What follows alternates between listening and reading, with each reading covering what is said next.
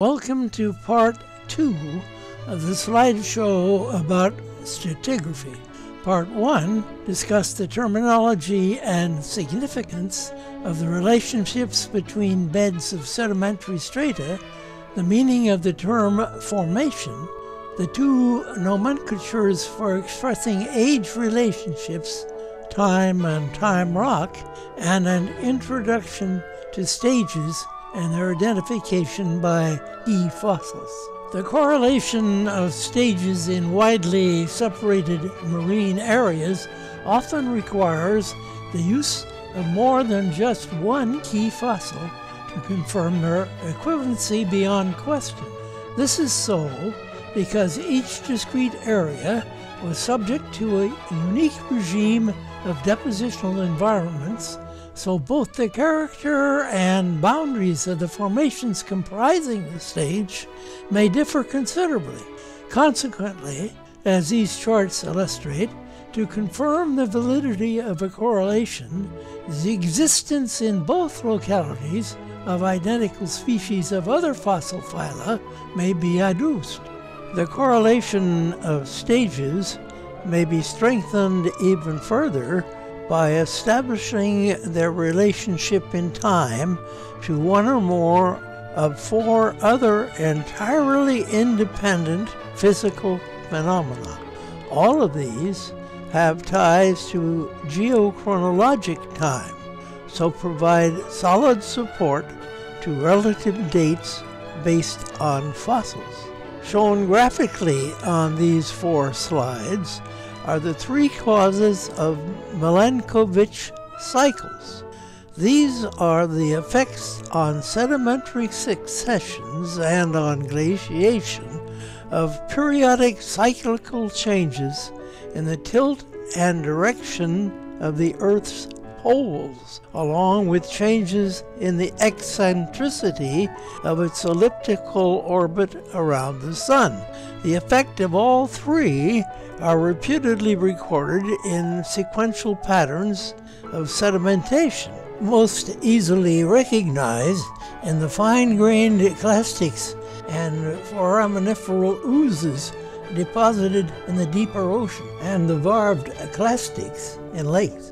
But they are identifiable in many other sedimentary environments using tools other than repeated successions of climate-caused alternations of strata. Each of the three cycles has a fixed periodicity, and these next slides show that their patterns in a succession of sediments can be recognized by lithologic or oxygen 1618 rhythms and collated with eustatic cycles and sequence stratigraphy.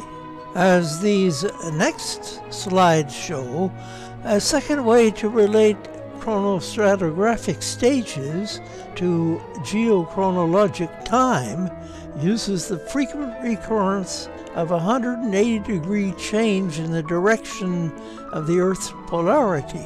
The iron oxides in igneous and sedimentary rocks, some of which can be dated precisely by isotopes, are aligned by the polarity in effect at the time they became rock, although the timing of these changes in polarity was not regular. In older successions, there are long periods when reversal did not take place. It seems to have taken place more often during the Cenozoic era. There, uh, several have been proposed as golden spikes for stage boundaries. Their existence in strata worldwide and the fact that many are isotope dated makes them an invaluable aid for, in addition to dating lithologic successions, they can be related to Milankovitch cycles, eustatic cycles, and the several elements of sequence stratigraphy. This slide of Mesozoic onlaps in the Alberta Basin of Canada demonstrates the use of third order eustatic cycles for correlation. These shorter cycles have been widely used to confirm the relative ages of Pleistocene coral reefs, but have served less commonly for correlation of older stages. But here is one such an attempt, which indicates the times at which major seaways were formed as they relate to global sea level at that same time. As you see, variations in sea level have been recorded and dated throughout Phanerozoic time. Chemistry, the fourth item in the list of independent geochronologic sources used to adjust chronostratigraphic time to geochronologic time, has provided several useful tools. As this slide of water temperatures throughout the Phanerozoic illustrates, the relative proportions of O16 and oxygen 18 isotopes in the limestone shells of small marine organisms have been shown to be a reliable indicator of water temperature, and the excursions of carbon 13 in the formations of Aptian Age in Provence and southern Europe have been used successfully to establish a precise continental marine relationship. And more generally, the patterns of gamma ray logs from wells and outcrop are widely used to demonstrate correlation of diverse strata. Volcanic tuffs fall on both land and sea. Individual tephra are identifiable by the kind and percentage of trace elements in them.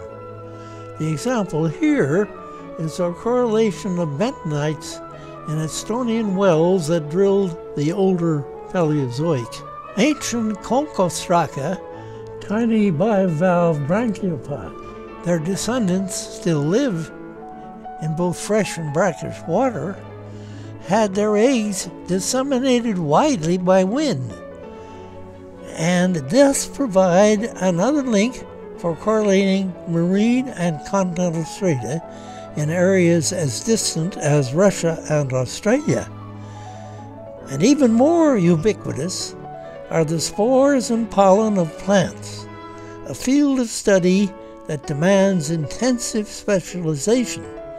Nevertheless, recognition of the limits of the standard marine stages in terrestrial deposits is usually difficult, but valid approximations can be made using high resolution sequence stratigraphy in lakes in conjunction with weather and sedimentation patterns related to the climate changes that accompany long lasting advances and retreats of the sea and the worldwide occurrence of unusual quantities of a rare mineral in strata representing an instant of time provide not only the demonstration of the global effects of the large meteor strike, but offer a means of precise correlation as this Cretaceous Tertiary boundary event